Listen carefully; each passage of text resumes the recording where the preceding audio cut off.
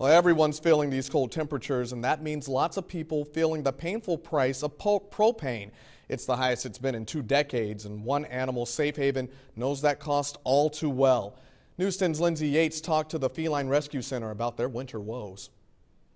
This winter has been really tough. It's a feline rescue center that more than 225 exotic cats call home. And while the cats are used to the snow, this unusually harsh winter landed five of them in the vet. Mostly what we see are stress issues.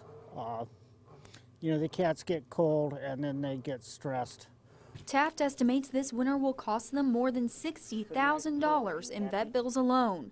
Part of nursing those cats back to health is simply warming them up. With the cats in the clinic, we have to keep the clinic a lot warmer than we normally do.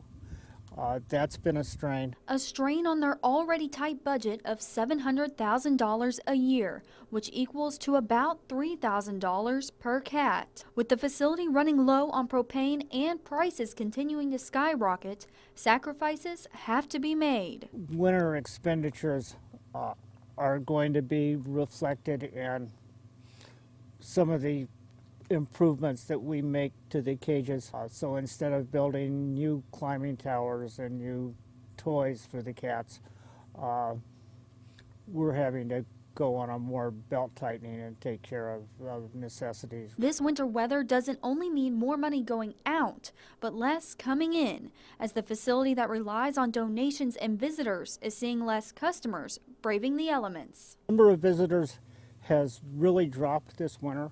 And this chilly winter may be the ideal time to visit. It's unfortunate in a way uh, because the best time to see a tiger is in a snowstorm. Uh, the tigers absolutely love the snow. In Center Point, I'm Lindsay Yates, You know, News 10.